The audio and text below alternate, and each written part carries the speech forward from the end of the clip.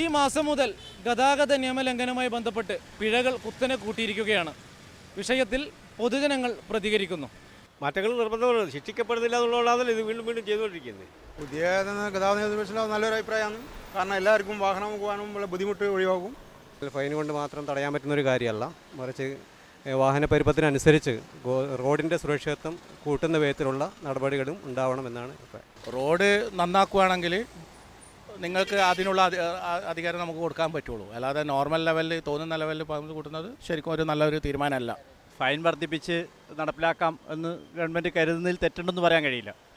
അതോടൊപ്പം റോഡുകളുടെ കുഴിയടയ്ക്കാനും അതുപോലെ തന്നെ ഗതാഗത സൗകര്യങ്ങൾ വർദ്ധിപ്പിക്കാനും ഈ ട്രാഫിക്ക് ശരിയായ നിലയിൽ ട്രാഫിക് നടത്താനും വളരെ വേഗം പുതിയ റോഡ് പരിഷ്കാരങ്ങളും ട്രാഫിക് പരിഷ്കാരങ്ങളും ഉണ്ടാവേണ്ടതുണ്ട്. ഫൈന് കൂട്ടിയ ഏറ്റവും നഷ്ടമാണ് മനുഷ്യന്മാർ പദയാത്രയിലേ പോന്ന്. പൈസ വേണ്ടേ ജനങ്ങൾക്ക്? ജീവിതമാർഗം നയിക്കുന്ന സാധാരണക്കാരനെ പീഞ്ഞെടുക്കുന്നു പോലീസ് ആ നിയമം നടപ്പിലാക്കുമ്പോൾ വളരെ കുറച്ച് വളരെ ശക്തമായി നടപ്പിലാക്കുന്നു. ആദ്യം കുറച്ച് താക്കീത് ചെയ്തിട്ടെല്ലാം വിടണമായിരുന്നു എന്നുള്ളതാണ് പൊതുവെയുള്ള അഭിപ്രായം. നമ്മളിപ്പോൾ പലപ്പോഴും പല വേജാറിന്റെ ഇടയിൽ നമ്മൾ ഈ പറയുന്ന ഈ പിന്നെ ലൈസൻസ് ആയാലും അതുപോലെ തന്നെ നമ്മുടെ പെർമിറ്റും അതുപോലെ തന്നെ പുകയുടെ കണക്കെല്ലാം എടുത്തിട്ട് ചിലപ്പോൾ മിസ്സായിപ്പോയാൽ ആയിരം രൂപ മുതൽ പത്തായിരം രൂപ വരെ ഫൈൻ ചെയ്യുന്ന ചില സംവിധാനമാണ് ഇപ്പോൾ ഇവിടെ വന്നിട്ടുള്ളത്. അത് സാധാരണക്കാരനെ സംബന്ധിച്ചിടത്തോളം ഭയങ്കരം ഒരു പിന്നെ ഒരു കനത്ത ആഘാതം തന്നെയാണ് എന്ന് പറയാതിരിക്കാൻ നിർവാഹമില്ല. ഒരു വിധത്തിൽ പറഞ്ഞാൽ ഞാൻ എഗ്രി ചെയ്യുന്നു. കാരണം എവിടെയാണോ നമ്മൾ നിയമം പാലിക്കപ്പെടാതിരിക്കുന്നത് ശരിക്കും അവിടെ അവരുടെ പണിഷ്മെന്റ് ആവശ്യമാണ്. അതിനാവശ്യമുള്ള ഫൈനും അടക്കാം. പക്ഷെ പല ഈ നാലരട്ടി ആറരട്ടി അതൊക്കെ പറയുന്നതിനോട് എനിക്ക് യോജിക്കാൻ സാധിക്കുന്നില്ല. ചില സമയത്ത് ആർ സിയോ ഒന്നും കൊടുക്കുകയാണെങ്കിൽ അത് ഹാജരാക്കിയിട്ട് സ്റ്റേഷനിൽ ഹാജരാക്കിയിട്ട് വണ്ടി വിട്ടു കൊടുക്കേണ്ട സംവിധാനം ഉണ്ടാക്കണം. ഇത് ആ സ്പോട്ടിൽ പിഴയടക്കി ഉണ്ടാക്കുക പറഞ്ഞാൽ ലക്ഷക്കണക്കിന് ആൾക്കാർക്ക് ബുദ്ധിമുട്ടുണ്ടായിരുന്നു. ഇത് പാലിക്കുക എന്നുള്ളത് നമ്മൾ ഈ പ്രശ്നം ഇത് പാലിച്ചു കഴിഞ്ഞാൽ നമുക്ക് ഈ ഫൈനുകൾ ഒഴിവാക്കാൻ പറ്റും. നമ്മൾ കർശനമായിട്ട് ഇത് നമ്മൾ പൈസ കൊടുക്കേണ്ടി വരില്ലല്ലോ. അതൊരു സംരക്ഷണത്തിന്റെ തന്നെയാണ്.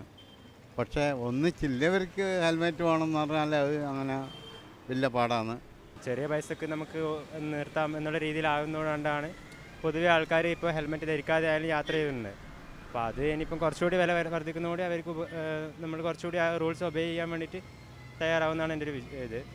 തീർത്തും നല്ലോണം കർശനമായി വയലേഷൻ ചെയ്യുന്നവർക്ക് കൊടുക്കണം തന്നെയാണ് അഭിപ്രായം. പക്ഷേ ഇപ്പോൾ സാധാരണക്കാർ ഇപ്പോൾ ചെറിയ അത്യാവശ്യ കാര്യങ്ങൾക്ക് പോകുന്നവരെയും അതുപോലെ ഡെയിലി വ്യവസായം അങ്ങനെ ജീവിക്കുന്നവർക്കെല്ലാം കുറച്ച് നല്ല ബുദ്ധിമുട്ടുണ്ടാകുന്ന കാര്യങ്ങളാണ്. ഞാനൊരു പിന്നെ കേന്ദ്ര ഗവൺമെന്റിന്റെ ഉദ്യോഗസ്ഥൻ എന്ന നിലയിലും ഒരു ആർമിയിൽ പിന്നെ ഒരു വാറിൽ അറ്റൻഡ് ചെയ്ത ഒരു പ്രതിനിധി എന്ന നിലയിലും ഞാൻ അവരോട് പറഞ്ഞു സർ ഞാൻ ഇന്നൊരാളാണ് ഒരു ആർമിക്കാരനാണെന്ന് പറഞ്ഞിട്ട് പോലും അവർ അത് സമ്മതിച്ചില്ല. കാരണം എനിക്ക് അസുഖമുള്ളൊരു വ്യക്തിയാണ്. ഹെൽമെറ്റ് വെക്കുമ്പോൾ എനിക്ക് ഇ എൻ ഡിന്റെ പ്രോബ്ലം ഉണ്ടായിരുന്നു എന്ന് പറഞ്ഞിട്ടൊന്നും അവർ കേൾക്കാൻ തയ്യാറില്ല. ഞാൻ പറഞ്ഞു അങ്ങനെയെങ്കിൽ നിങ്ങൾ കേസ് ഞാൻ കോടതിയിൽ ആർഗ്യുമെന്റ് ചെയ്തോളാം എന്ന് പറഞ്ഞു അപ്പോൾ ഇങ്ങനെയുള്ള സ്വഭാവം ഒരു തരത്തിലും അംഗീകരിക്കാൻ പറ്റാത്തതാണ് ഗവൺമെന്റ് നടപ്പാക്കുന്നതെന്നാണ് എനിക്ക് ഈ സമയത്ത് പറയാനുള്ളത്.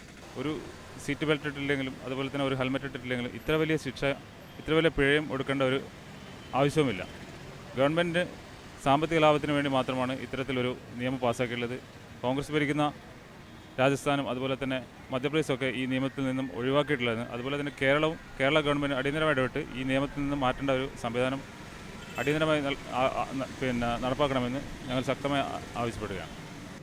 നിയമലംഘനം നടക്കുന്നുണ്ട്.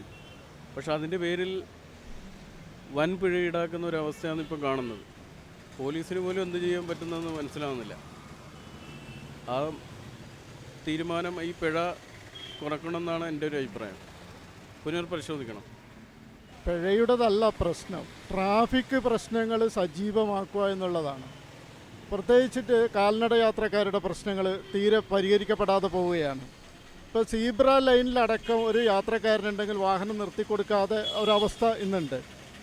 അതേപോലെ എല്ലാ വാഹനം ഓടിക്കുന്ന ആളുകളും കൃത്യമായിട്ട് ഈ നിയമം പാലിക്കുക.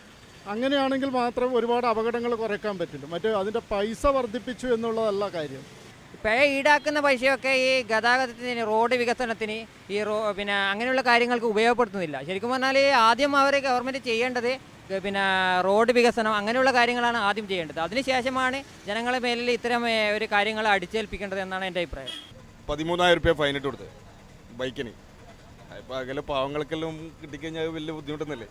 നമ്മളപ്പോഴത്തേക്കെല്ലാം ഭയങ്കര ബുദ്ധിമുട്ടത് ചില പത്തായിരം രൂപയിൽ ഫൈൻ എന്ന് പറഞ്ഞാൽ നമ്മൾ ഒരു കൊല്ലം ഓടേണ്ടി വരും.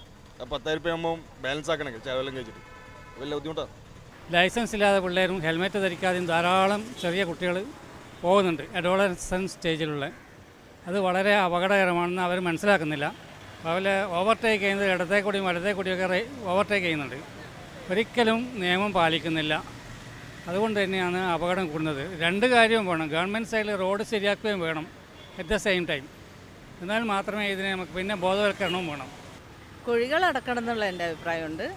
പിന്നെ ഈ ചെറിയ കുട്ടികൾ ബൈക്ക് ഓടിക്കുന്നത് വളരെ ശ്രദ്ധിക്കണം. ചെറിയ വയസ്സിലെ കുട്ടികൾ ഇങ്ങനെ പോകുമ്പോൾ അപകടം തന്നെയല്ലേ? വണ്ടിയിൽ അത് ഒരു നല്ല കാര്യം തന്നെയാണ് ചെയ്തത്.